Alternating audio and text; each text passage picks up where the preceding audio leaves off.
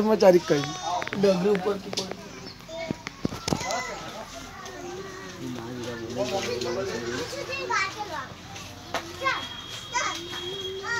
नुसतं इनके पास बैठता हं?